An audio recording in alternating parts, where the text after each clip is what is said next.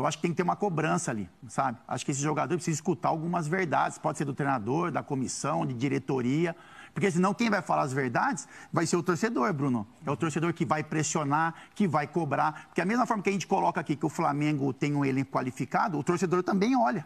Torcedor, só que no jogo de hoje, por exemplo, ele olha o quê? Poxa, os jogadores estão na posição que eles mais gostam. Uhum. O treinador mudou, então não tem mais esse problema Mas... de relacionamento.